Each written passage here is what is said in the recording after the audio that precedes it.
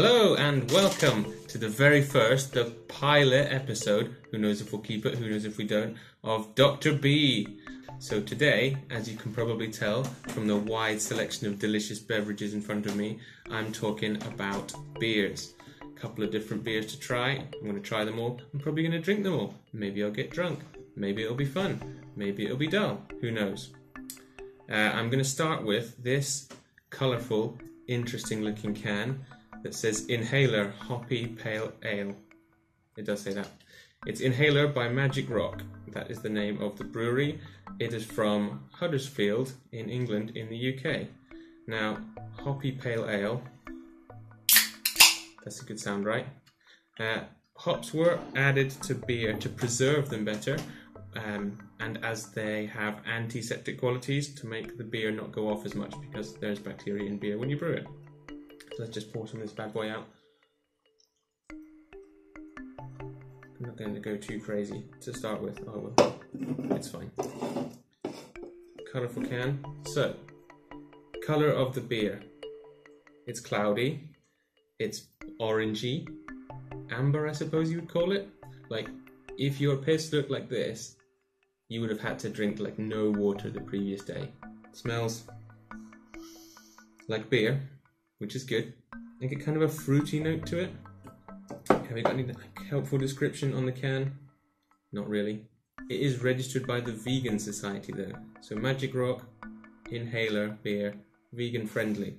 I don't know how you make a beer not vegan friendly, but this one is vegan friendly. No ground up cows in there. No siree.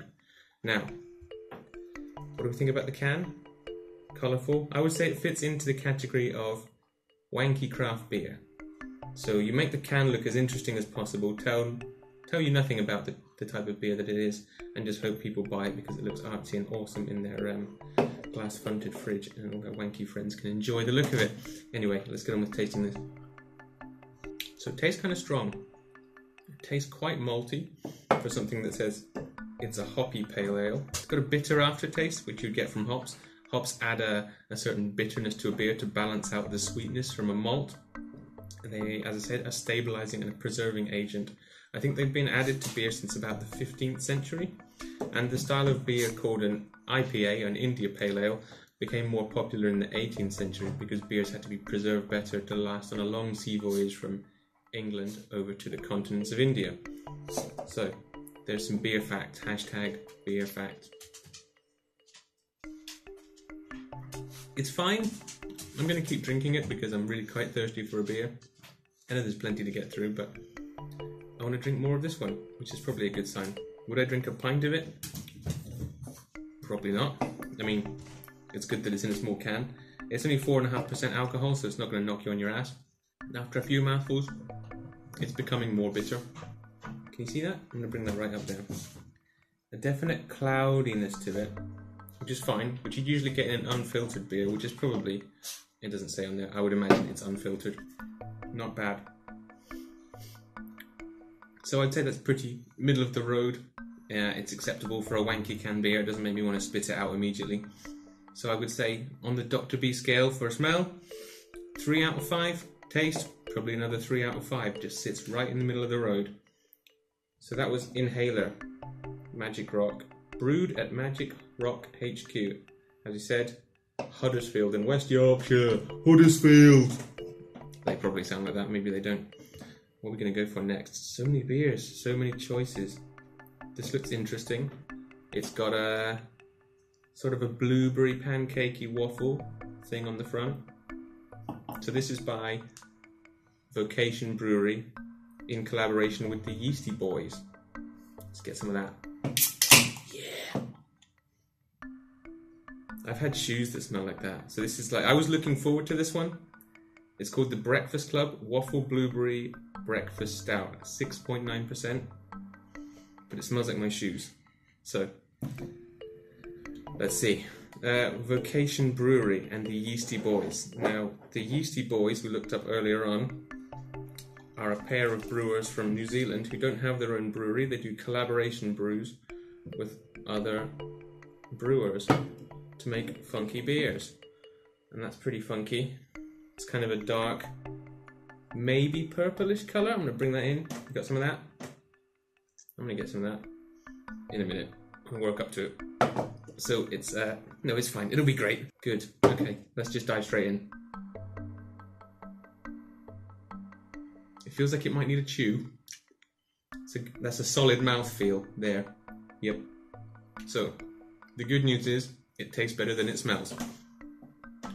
It's sweet. This is a this is a stout. So a stout is typically a darker beer, uses more of the almost burnt uh, malted barley in there than your lighter beers. Usually gives them a much stronger color and a stronger taste.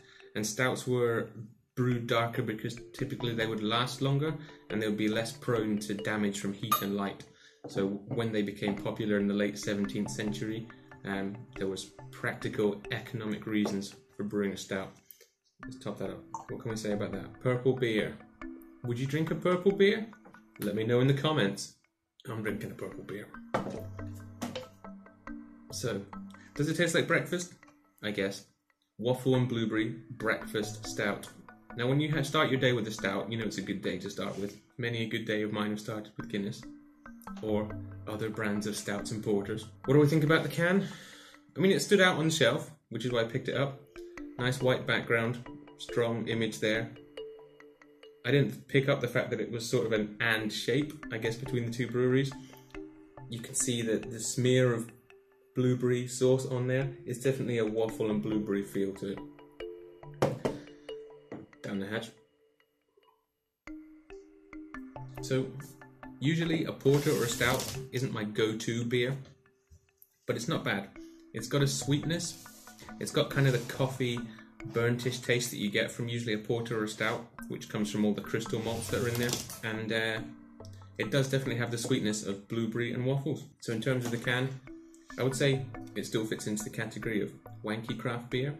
Given the can is a decent size though, 440ml, 6.9% volume. You could get drunk pretty quickly on this. I would I would try and get drunk pretty quickly on this. Um, I would go back to it. You know, if I was going to be swung towards wanky craft beers, if a few more of them were like that, then I would probably, I would probably be a convert. Let's get some ratings done. We're doing ratings out of five. Five for smell, five for taste. That's the maximum. That's the, the Dr. B maximum rating. The smell's not great. It's not blueberry waffles. It is. It's definitely shoe. It's possibly walking around all day doing some hard doctoring shoe like a big old hefty boot. Boot shoe. That's what it smells like. But the taste, I'm gonna give it a four. Four out of five on taste, but only a two, two out of five on the uh, on the smell. Not enough to put drunk old Dr. B off drinking it. So I'm gonna move on to something a bit lighter now.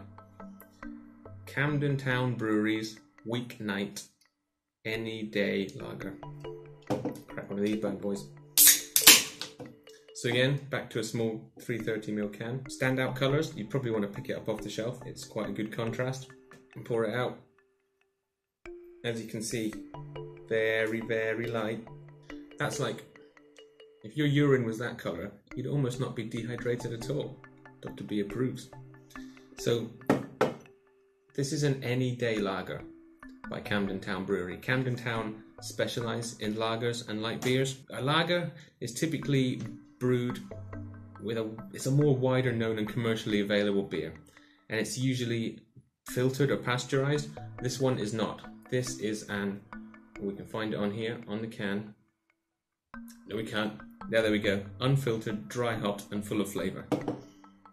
As far as the smell goes doesn't really smell of anything. There's not a lot of smell there at all. Okay so a lager um, a lager a lager a lager lager is as I said, usually filtered or pasteurized, and it's conditioned at a lower temperature and using a, a bottom fermented yeast, and that also will work or activate at a lower temperature. Oh, it's quite bright, it's quite nice. It's quite clean tasting. There's not really an aftertaste. I guess it tastes like how it looks, if that makes any sense to beer drinkers. You see a light beer like that and you're thinking, I don't know, Bud Light or a Coors. It's got a bit more flavour than that, first of all, kind of a citrusy note. but there's no lingering taste on the palate. Now, as I said, this is a light beer, light-ish. This is only three percent volume, so this is like this is a palate cleanser compared to this bad boy. Camden Town Brewery, that's London in the UK. For those of you that don't know, be offended if you don't know. I'm still not getting much of a smell from it though, but the colour's good, I guess. The taste's fine. You could knock a few of those back and you'd be fine. Not fine to drive. Don't knock those back and drive. Or do. No, don't. Definitely don't. But uh, no, it's fine. Like a refreshing few pints with the guys. I'd, I'd go for it. Hmm. Or a refreshing few pints with the girls. There's not too much more to say about that. It kind of does what it says on the tin. Their description for it is Weekends get all the good press. We're living for the weeknights. So we made this beer unfiltered, dry hopped, and full of flavour. It's lower in ABV, so more like dancing in the kitchen than an all night rave. I'm gonna finish it. You know, this is beer number three. Why not? We've got some heavyweights coming up, so let's knock a few of these back. If you've not got beer when you're watching this, maybe you should have beer. Like, just pause the video, pause it, don't close it. Lean over to your fridge, wheel yourself over to your fridge, walk over to your fridge, run to your fridge if you're feeling particularly energetic, grab yourself a couple of beers, come back, unpause, and join me. Are you drinking while watching Dr. B? Leave me a note in the comments section with what you're thinking as you're drinking, as you're watching. Getting full, getting gassy. Oh, if only I was less of a skull, this would be less painful. it's all bad, it's all rattling around there. Well, that was refreshing. Let's move on to something a bit heavier. Nice bottle opener, right? So, we're going to go for Delirium, Belgian strong beer.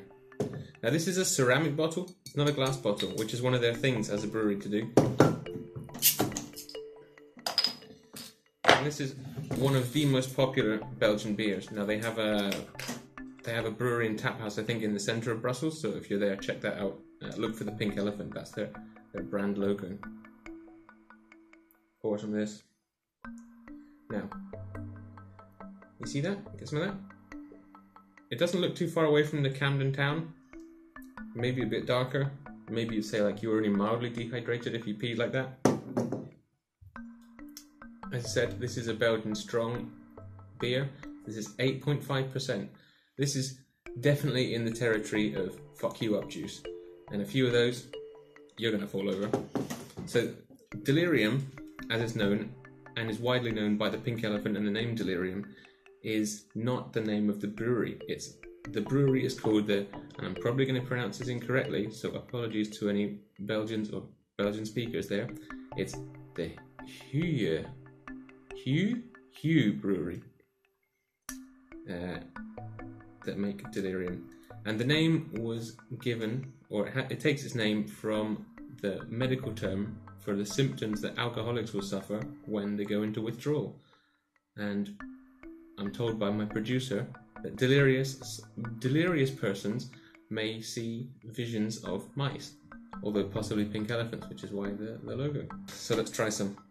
Let's get involved. As far as the smell goes, it smells a bit like a wheat beer, which I think it is. It is a wheat beer. Apologies if you notice a slight difference in uh, camera quality. We've had to switch over. Hopefully, you won't notice. If you're as far along as me, you won't even see a difference. So, Delirium, a strong Belgian beer. Oh, there's, you know, there's almost a cheesy note there.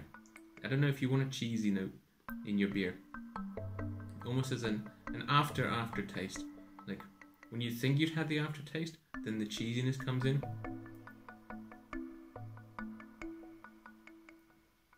It does have a typical wheat beer flavour. So big pack of sweetness. You can taste the alcohol, which is maybe a good thing, maybe not. I don't know if it's got. I wouldn't say it's got citrusy notes. It's just wheaty, wheaty wheat beer. So this was interestingly, or possibly not interestingly, you tell me. Make a note in the comments. This was bo- voted world's best beer in 1997 it'll definitely, uh, well, if the judges had a few of them, you'd probably say it was the best beer, I guess. There's some in there. Maybe we just sit him over here for now. We've got more beers to get through, and I don't want to fall over just yet. That was nice though.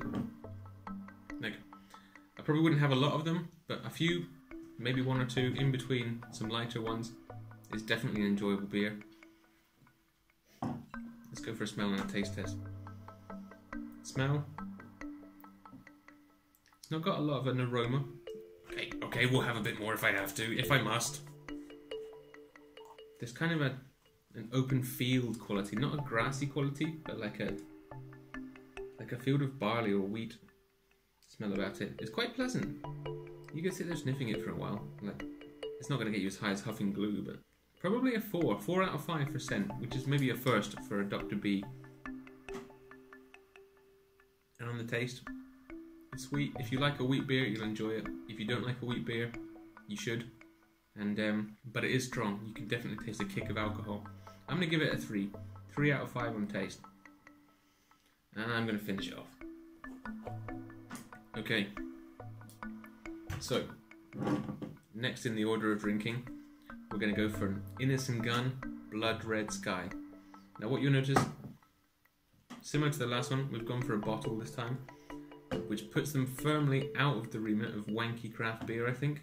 Wanky craft beers always seem to prefer a brightly coloured can like this, whereas your traditional ales, your lagers, lagers comes in cans, obviously, but um, I think your your craft beers, the ones that have had an explosion of recent, have to have a brightly coloured, contrasting, eye-catching can, and uh, that's what they use to sell the product. So we're going to go back to a more traditional Scottish ale with Innis & Gunn Blood Red Sky. Scottish ales, as this one is probably a Scottish heavy, are usually darker in colour, maltier, less hoppy. Now, as I pour this out, you'll notice straight away the depth of colour in there. Blood red sky.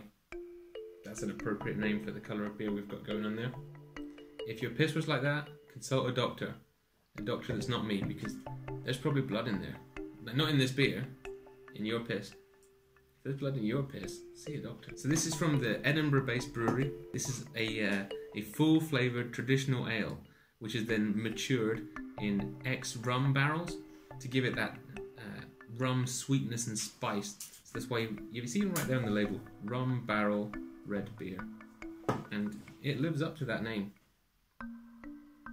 Smell. It smells like rum gently, but it's got that rum sweetness about it, which um, is very pleasant. Very enjoyable. Hold on. I wish I had a nose on my skull. Maybe that's why I couldn't smell anything on the last one. No, that's very nice. It's definitely got the, the, the heat and the spice from a rum. Um, so let's get let's dive right in. Mm. Yeah. Mm. That's got a sweetness. Like if you've got a sweet tooth, go out and pick up some of those now. Okay, pause the video. If you've been drinking already, walk. Go and get some. If you haven't got any, send me a mail and I will post them to you. That is delicious. That's got the spice and the sweetness from the rum coming through, gently made mild by a Scottish heavy beer. So you haven't got that kick of alcohol, that harshness that you would sometimes get from a rum if you were to drink neat rum, which, let's face it, we all have out of your shoe. Oh, that night by the canal, drinking rum out of a shoe. Anyway, mm. so you've got the depth and maltiness from a from a Scottish heavy, a nice traditional ale, mm. like a cinnamony kind of sweet molasses note from the rum. I'm not ashamed to say it. I'm gonna finish it. So the producer has taken the cut, their percentage cut from my bottle, but I'm gonna finish it. I like this beer, and I'm not ashamed to say it. But you know, after five other beers, you tell me a beer you don't like. So let's get some ratings done. Let's get some Dr. B ratings. Hmm, that slight questionable quality. You think, what am I smelling? Am I on the beaches? Am I smelling tropical rum smells? The heady mix of a holiday attitude where you don't care about life anymore and just just raw sugar, a muscular Caribbean man rubbing spices into your chest, sucks on a fresh coconut. No, it's probably just the, the rum barrels that they're aged in. So for that reason, I'm gonna score that five for a on the nose a scent rating of five, and for a taste, I'm gonna give it a five. Why not? Out of the six beers we've got, we've got a five and a five. So, if you weren't paying attention, that's the top score for Innis & Gunn Blood Red Sky. Try it. If it's available near you, grab one. If it's not, write angry letters to all your closest supermarkets until they stock it for you. Or maybe you're going to click the link below and you can grab some from Amazon. That might be a thing. That was a lighter one. Let's just, what, you know, it wasn't great, so let's just use it to wash the glass. Hmm, that's interesting. Going back from here to here is like, if you went back in time and you could redo something you'd done in the past, you'd probably just replace it with stronger beer. So that's that's the comparison. Okay, so palate cleanser. Just a little bit of palate cleanser.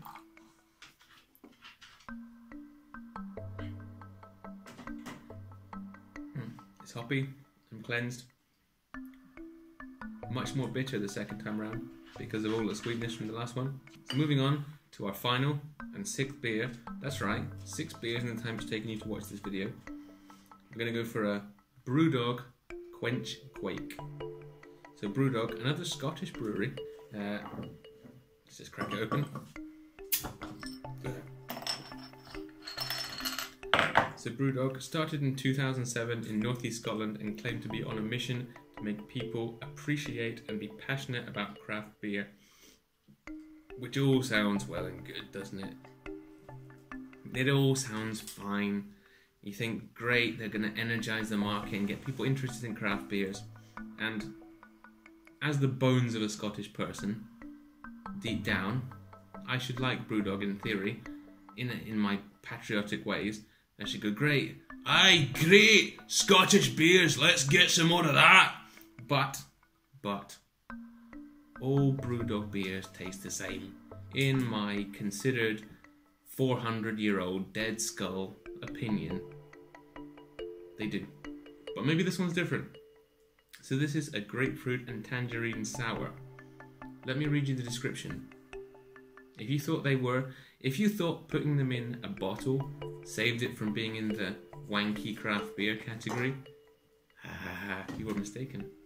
Let me read the description. Buckle up for this juice bomb of a sour beer. That's right, sour beer. The first tremor of tartness hits, and hold on tight for a citrus blast of seismic proportions. Tectonic plates of lemon, tangerine, grapefruit, and tart apple agitate the pie crust and biscuit backbone. What that means is, we took our normal beer and we put some citrus juice in it. That's a jaded opinion. Anyway, let's get involved. Let's try it. I'm so excited. It's pale. Yeah, it's not that pale. So I think we've got a darker colour than the ta- than the Camden Hills Brewery. We get some of that. That's like that's mild dehydration. That's if you drink all of these and then go to sleep without drinking any water, you're probably looking at um, yeah, maybe something like that. The morning after, in terms of your your urine. Okay, it smells. Okay, so picture yourself. You've woken up. You're in a hotel. You don't know where you are. It doesn't matter. You're in a hotel. You wander down to the lobby. You think I'll just I'll just have a few bits from the Continental for breakfast. You see there's some ham, there's some cheese. Over there there's some bacon and eggs. You think, oh bacon and eggs will be fine. But I've just had, you know, however many beers. Some of them were pretty strong. I think I'll just go for Continental. Maybe some fresh fruit. You head over to the fruit section, you grab yourself a bowl, you think, oh those look nice, those those halved grapefruits. I'm gonna get some of that. That's exactly what that smells like. That's grapefruit. All over grapefruit. Which it says on there, let's be fair. Grapefruit and tangerine, it's a sour. A sour beer. As the name suggests, a beer that is deliberately sour.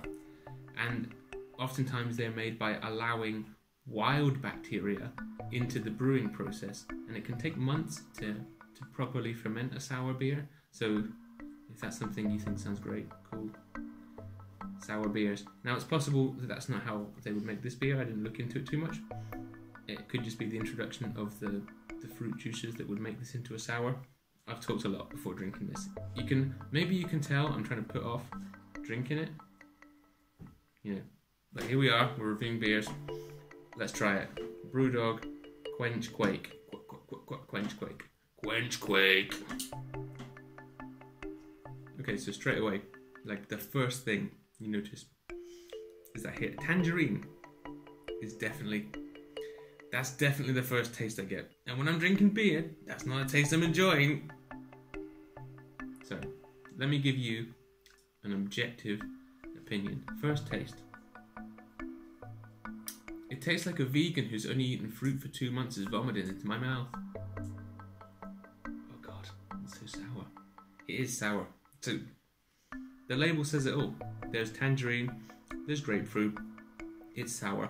It doesn't feel like I'm drinking a beer.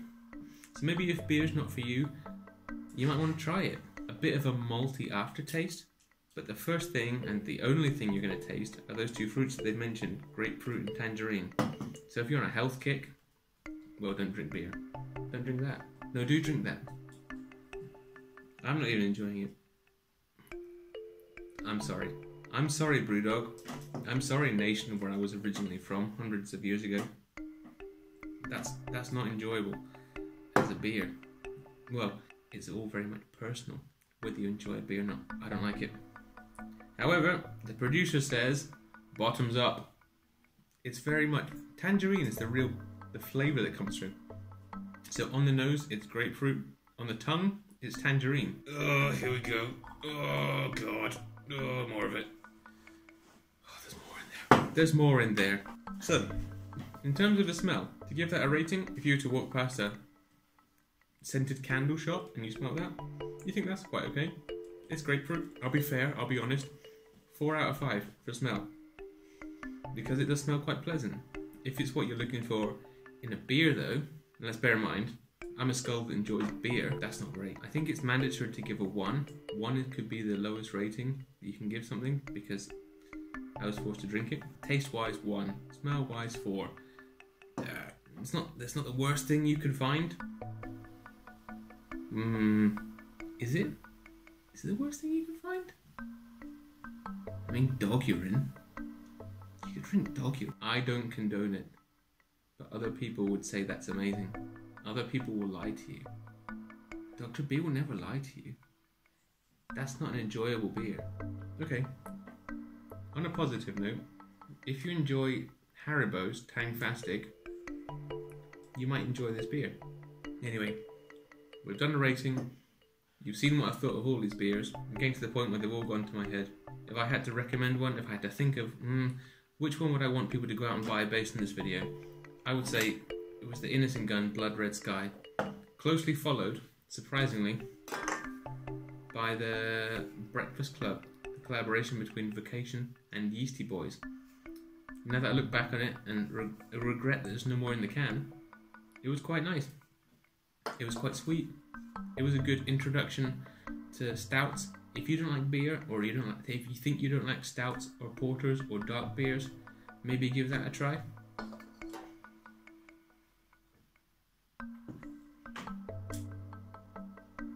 Tell us what you thought of this video. Leave a note in the comments below. Subscribe if you thought it was good. Send me horrible remarks if you thought it was bad. Here's the Twitter account. Here's the Instagram account. Leave me a comment. Tell us what you think. What should Dr. B talk about next? So this is Dr. B telling you, Strasbourg, and uh, buy more beer and leave me a comment.